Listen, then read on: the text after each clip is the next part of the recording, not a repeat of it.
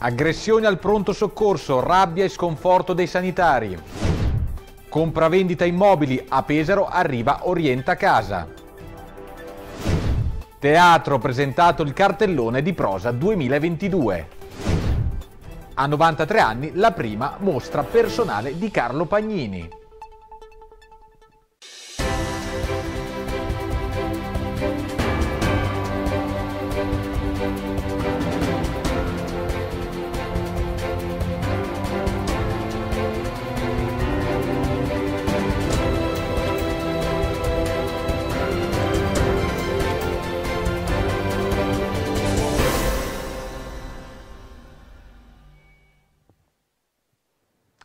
Buona serata, buona serata a voi telespettatrici e telespettatori di Rossini TV che come ogni sera ci seguite sul canale 633 del Digitale Terrestre. Questa è Rossini News, questo è il nostro telegiornale che in questa serata di venerdì 5 novembre apriamo con una notizia che interseca sanità, cronaca e tutela dei lavoratori. Mercoledì sera si è infatti verificato un grave episodio di aggressione con calci, pugni, addirittura eh, sputi a operatori eh, sanitari del pronto soccorso dell'ospedale San Salvatore. Un episodio censurabile ma che è solo eh, l'ultimo di una lista di fatti che mostra quanto questa categoria sia scoperta e vulnerabile. Il caso di Pesaro ha tra l'altro creato una risonanza nazionale tale da scatenare questa mattina un flash mob che è andato oltre i confini regionali con i lavoratori del pronto soccorso che per un paio di minuti hanno sospeso le loro mansioni in segno di protesta. Pronto soccorso di Pesaro a meno di 48 ore da un altro episodio, l'ennesimo di violenza scriteriata contro eh, niente meno che operatori del pronto soccorso, medici e infermieri. Mercoledì sera un altro episodio di aggressione, un 23enne che ha dato in escandescenze colpendo con pugni, calci, addirittura sputi e operatori sanitari, operatori sanitari che hanno detto basta e oggi a Pesaro hanno indetto un sit-in di protesta, di richiesta di attenzione per eh, sollecitare eh, appunto eh, l'attenzione politica e non solo su una problematica seria di eh, mancanza di protezione, di mancanza di personale. Come dice un collega, noi come lavorassimo in strada, non abbiamo porte chiuse, quindi accogliamo tutti e di tutto. Quindi può capitare anche, come è capitato l'altra sera, che un paziente in stato di alterazione per abuso di sostanze se la prenda con con i, gli operatori. È una cosa molto triste, molto brutta, però paradossalmente questa è solo la punta dell'iceberg, perché questo è un rischio che noi abbiamo scelto facendo questo lavoro. Quello che non abbiamo scelto è di eh, vicariare le mancanze di tutto il resto del sistema sanitario, perché Bisogna dire che eh, i servizi sul territorio sono stati grandemente ridotti, sono state tolte delle guardie mediche, è stata tolta la guardia turistica, ci sono dei problemi per i posti di posti ricovero nelle strutture del territorio e questo ricade sull'ospedale. Il problema dell'ospedale è che ci sono pochi posti letto a causa del Covid e questo ricade sul pronto soccorso. Noi siamo in coda alla catena alimentare quindi tutti i problemi del sistema sanitario nazionale sono, diventano un problema grosso nostro e noi siamo chiamati a risolverli e finché ce la facciamo lo facciamo con tutto il cuore, ma siamo arrivati a un punto nel quale non ce la facciamo più.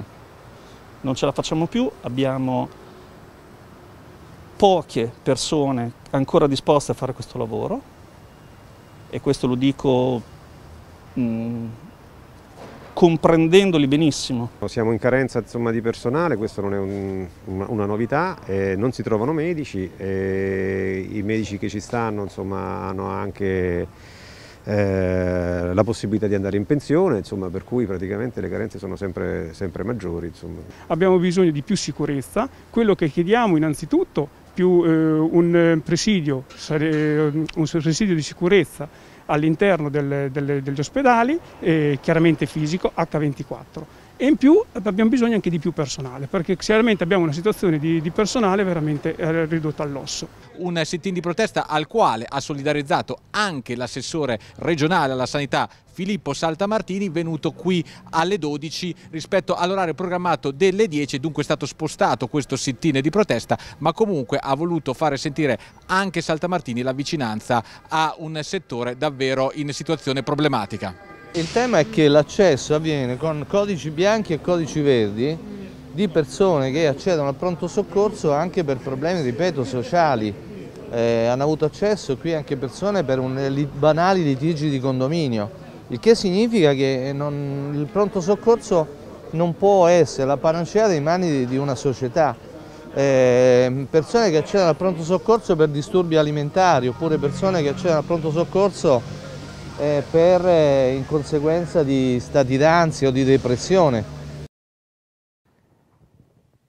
E proprio questa mattina al pronto soccorso di Pesaro c'è stato spazio anche per alcune riflessioni su questa ascesa di contagi e ricoveri da Covid-19 con cui è iniziato il mese di novembre nella regione Marche. Terapia intensiva al 10% di occupazione, superata la soglia dei 50 ricoveri settimanali ogni 100.000 abitanti. Numeri e percentuali che suggeriscono come nelle Marche la pressione dei contagi da Covid torna a farsi sentire con un'ascesa che fra gli addetti ai lavori fa pronunciare l'inquietante spauracchio della quarta ondata. Siamo lontani dal livello d'allerta per chi ha vissuto le ore più buie della pandemia, ma il polso delle rianimazioni mostra una sensibile differenza fra come è iniziato ottobre e come è cominciato novembre. Situazione Marche Nord abbiamo 11 pazienti ricoverati in terapia intensiva, tutti con polmonite Covid, intubati e quindi i numeri sono in lieve crescita. Ancora per la remazione la crescita è lieve, preoccupa la situazione generale, la subintensiva che aumenta di numero in genere l'aumento dei contagi. Abbiamo due vaccinati, nove non vaccinati. E quindi la gran parte delle persone, persone non vaccinate, di età che va dai 45 ai 70 anni. Per l'assessore regionale alla sanità Filippo Saltamartini, in visita questa mattina all'ospedale San Salvatore di Pesaro, lo spettro della quarta ondata si combatte spingendo ulteriormente sulla campagna vaccinale. È chiaro che dobbiamo incentivare i, i percorsi di aumento delle vaccinazioni e naturalmente in questa direzione anche stamani ho parlato con il generale Figliuolo affinché siano lasciati da parte del governo i 65 medici che servono per le vaccinazioni. Il tema è un tema piuttosto importante eh, di, da, da, da cittadini attivi, nel senso che io credo che i vaccini siano la risposta efficace al Covid e quindi dobbiamo proseguire con la campagna di vaccinazione. Cambiamo argomento e ci occupiamo ora del Tribunale di Pesaro che mercoledì ha ricevuto la visita di tecnici ministeriali ai quali compete la manutenzione ordinaria e straordinaria. Le verifiche sulla precaria stabilità della parete della struttura per la quale dal 7 ottobre è stata predisposta la, la, chiusura al traffico di via San Decenzio, ha dunque pianificato una serie di lavori in più step. Secondo i tecnici ministeriali è prevista una prima parte di interventi che dovrebbe permettere la riapertura della strada al traffico entro fine novembre, mentre a gennaio si procederà con un intervento radicale sulle facciate. Inoltrarsi nel mercato immobiliare rischia di essere un terreno davvero spigoloso per i tanti cittadini pesaresi alle prese con compravendite immobiliari. Ecco allora che lo sportello Informa Servizi di Pesaro dal 18 novembre aggiunge un altro tassello ai suoi servizi. Partirà infatti Orienta Casa, un nuovo servizio con consulenze gratuite di commercialisti, notai, consulenti finanziari e agenti immobiliari.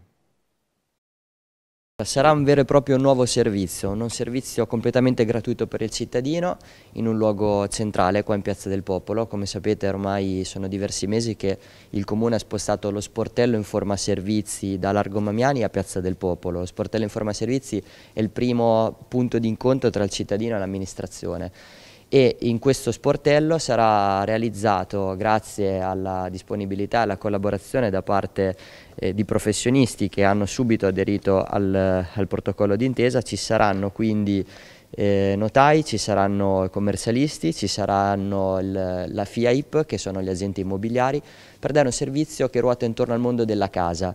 La casa è un bene primario, un bene importantissimo su cui in questo momento si sono accesi in particolar modo i riflettori anche perché è ripreso un certo dinamismo nella compravendita delle, degli, degli immobili, nella locazione, in quelli che sono anche gli interventi legati ai bonus e questo sportello servirà a dare tutte le informazioni eh, da professionisti, come dicevo, quindi commercialisti e, e notai e tutti coloro che possono eh, preparare il cittadino nel momento in cui si, si, appresta ad acquistare un immobile, quindi tutte le informazioni che ruotano intorno sia alla compravendita, alla locazione, all'accesso al credito e anche ai bonus. Quindi è un servizio completamente gratuito offerto dai, da questi professionisti che si renderanno disponibili due, eh, diciamo, due giovedì al mese, eh, un giovedì ogni 14 giorni nel, in orario pomeridiano. Diciamo uno strumento importante per il cittadino per orientarsi in un mercato che a volte è confusionario tra la legge del 110, eh, successioni, altre normative. Diciamo che è uno strumento secondo me importante che vede più professionisti insieme dove diamo un servizio al cittadino eh, di consulenza gratuita, che secondo me è una cosa molto importante in questo momento e in particolare noi teniamo a creare una specie di cultura della prevenzione giuridica nel senso che il cittadino eh, è opportuno che sia eh, informato sulle problematiche legali, in questo caso legate all'acquisto all di un immobile, il, il più presto possibile per, in modo che possa affrontare un acquisto nel modo più informato possibile, perché per esercitare la propria libertà di, di, di acquistare deve essere prima di tutto informato e noi vogliamo anche evitare che queste informazioni in un certo senso, anche se è una goccia nel mare, eh, vadano ricercate su luoghi anonimi e formali come eh, internet e cose di questo genere. Quindi anche un servizio alla cittadinanza eh, face to face per così dire. I passatelli al pesce sono il primo piatto pesarese a meritarsi il marchio Deco. A deciderlo è stata la commissione Deco di Pesaro che ieri si è riunita per proclamare il primo piatto della città che dunque si fregia del marchio di denominazione comunale. Questo significa che i passatelli al pesce saranno sempre riconoscibili grazie al logo identificativo rilasciato dal comune che attesta l'origine del prodotto e la sua produzione. Sarà dunque un logo riprodotto sugli imballaggi, sulle confezioni, sui materiali pubblicitari e sui menu, diventando dunque un valore aggiunto anche per i visitatori della città. Le avete viste recentemente ospiti negli studi di Rossini TV, parliamo di Beatrice Terenzi e Elisabetta Ferri, che da giornaliste pesaresi sono divenute dieci anni fa le creatrici della nazionale italiana basket sorde, che lo scorso ottobre si è fregiata del titolo di campione d'Europa. Oggi la Terenzi e la Ferri sono state premiate con il plauso della città consegnato dal comune di Pesaro per i loro risultati di sport e inclusione sociale. Ed ora lo spazio dedicato alle vostre segnalazioni che come sempre vi invitiamo a inviarci al numero WhatsApp dedicato 370 366 7210. La foto che vi stiamo mostrando ora eh, ci è stata inviata da un nostro telespettatore e si riferisce al percorso pedonale che sul lungomare di Pesaro conduce dal Moletto alla spiaggia di Ponente. Un percorso che come vedete è stato interrotto e il motivo dell'interruzione è il danneggiamento di alcune doghe e sostegni logorati sotto i colpi dell'ultima mareggiata.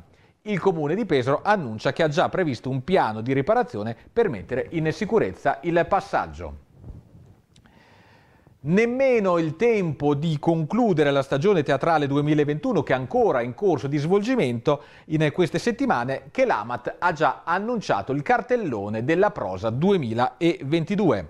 Saranno sei gli spettacoli con tante repliche, tutte al teatro sperimentale, fra gennaio e maggio, come ci spiegano il direttore di Amat Gilberto Santini e l'assessore alla cultura Daniele Vimini. Avevamo annunciato appunto una stagione di quattro date per il 2021 che si concluderà con dicembre, in questi giorni il successo straordinario di Cristicchi in attesa di Eugenio Allegri con 900 per chiudere il 2021 e poi una stagione 2022 che in realtà è una stagione diciamo eh, inverno-primavera eh, 2022 sperando poi di tornare eh, tranquillamente al Teatro Rossini per una stagione compiuta 22-23 ma diciamo una stagione che prende vita da gennaio a maggio con eh, sei appuntamenti, sei grandissimi spettacoli con anche una novità importante, ovvero eh, spettacoli dal martedì, alla, eh, dal, dal martedì, alla, domenica, quindi sei spettacoli, sei, sei recite, eh, un dato veramente importante, quindi 3.000 posti a disposizione. E sei appuntamenti, sei recite, sei sguardi diversi al teatro italiano. Eh, iniziamo e chiudiamo con due omaggi ai classici. Eh, ci piace questo presente ricordato in qualche modo che cerca in questa incertezza del presente qualche riferimento, così come fa ehm, Emilio Solfrizzi nel suo Malato Immaginario, l'ultimo grande testo di Molière con la regia di Guglielmo Ferro e così come fa, devo dire, con una straordinaria capacità inventiva di utilizzo dei linguaggi teatrali Ferdinando Bruni nell'Edipo Re che chiude la stagione, ehm, che si avvale anche di fantastici costumi di Antonio Marras, che sono davvero parte della drammaturgia del testo. E in mezzo a tante storie, tanto presente, devo dire, dopo questo presente ricordato, invece tanto presente, eh, giusto alla fine del mondo, uno spettacolo che ci ha molto colpito e abbiamo voluto fortemente a Pesaro perché racconta vicende di una famiglia eh, insomma, che assomiglia in molti, casi anche alla nostra, con una grande Anna Buonaiuto eh, nel ruolo appunto della, della mamma di questa, di questa, grande famiglia.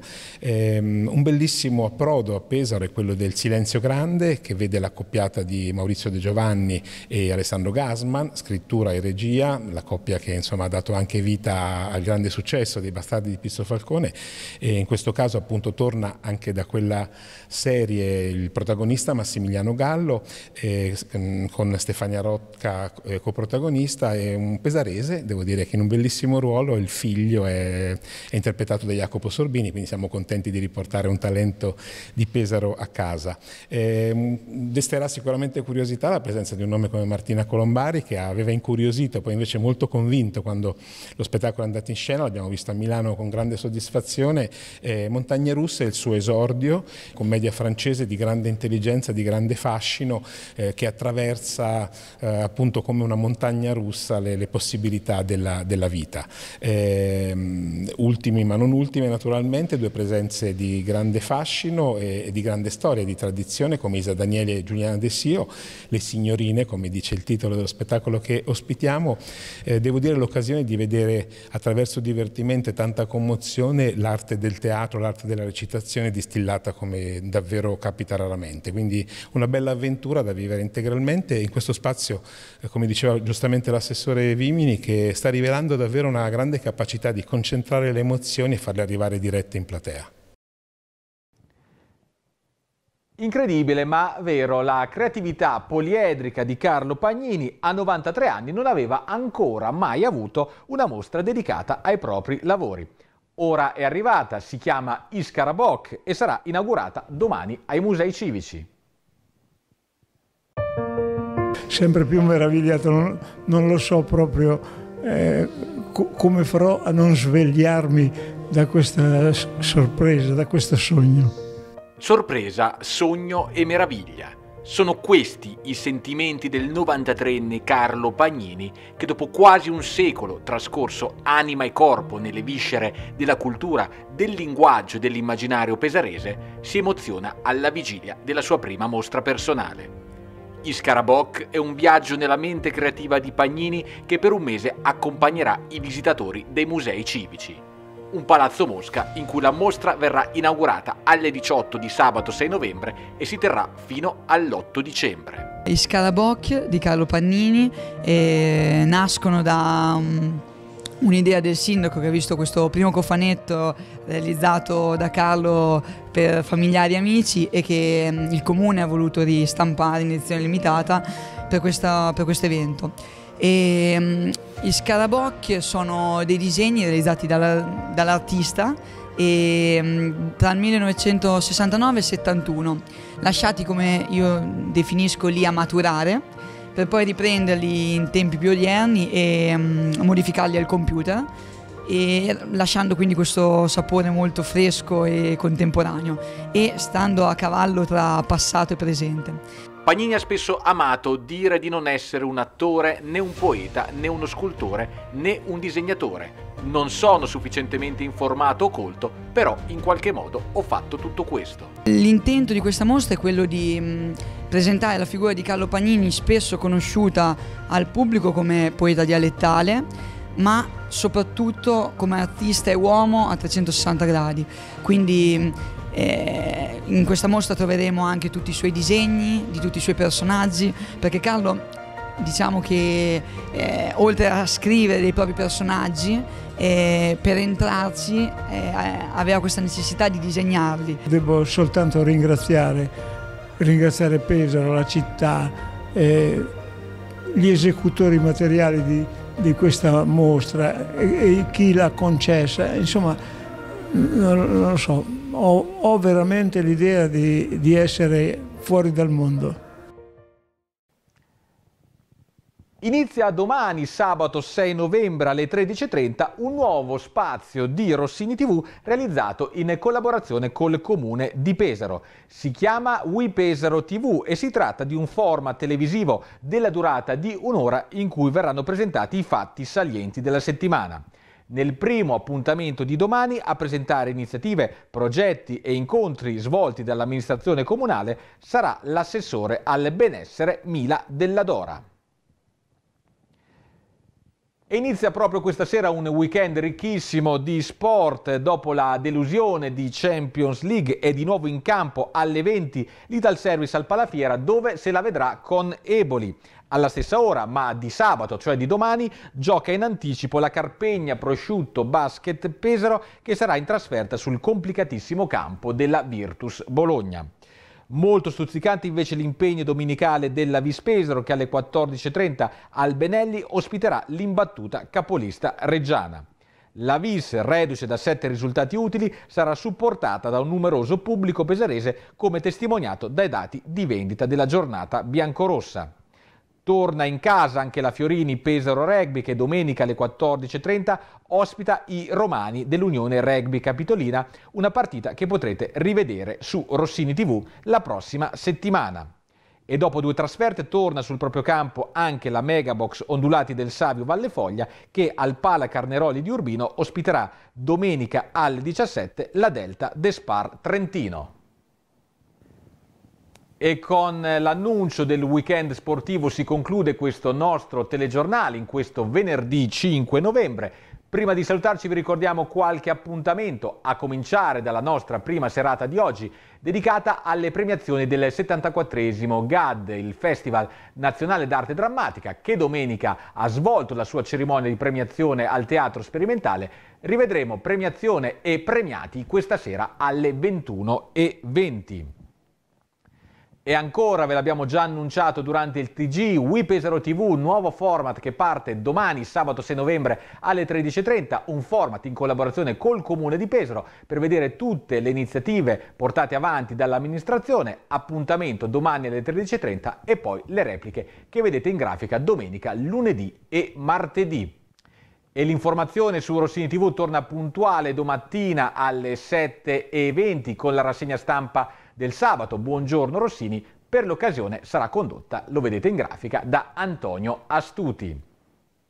E vi ricordiamo anche un importante programma di Rossini TV pronto a ripartire dopo il successo della scorsa stagione. Eccola la seconda edizione di Casa Rossini con il nostro Paolo Pagnini e il suo salotto di ospiti. Cambia l'orario, non più al mattino, ma vedete in grafica la programmazione dal lunedì al venerdì prima edizione alle 19, prima replica alle 23 e poi il giorno seguente alle 10 e alle 15 e 15. È davvero tutto per questa nostra edizione del telegiornale. A me non resta che augurarvi un buon weekend e una buona continuazione di serata con i programmi di Rossini TV.